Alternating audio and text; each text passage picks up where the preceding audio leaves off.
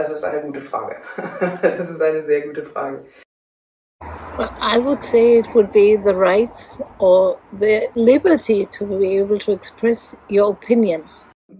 Ja, für mich ist es so zu sein, wie man ist. On any subject, at any point of time. Sich so zu zeigen, wie man ist.